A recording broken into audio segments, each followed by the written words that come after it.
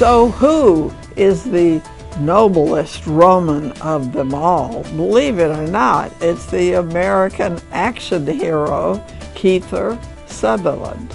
Mr. Sutherland appears in the new Sex and Sandals epic Pompeii.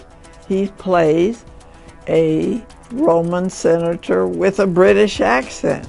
Of course, in ancient times, we don't know how those Britons sounded then, so it doesn't matter. Kiefer says he was very surprised at the high quality of the Pompeii script.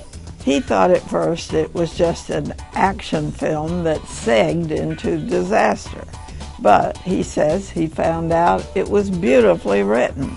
So on with the toga.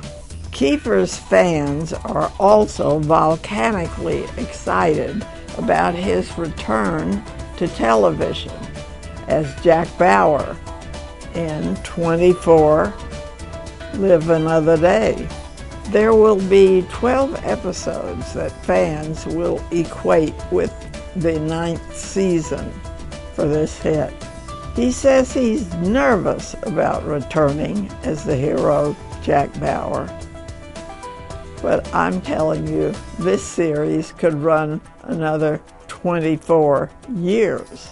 And remember, Kiefer Sutherland has become a steadfast, important star after a very tempestuous youth.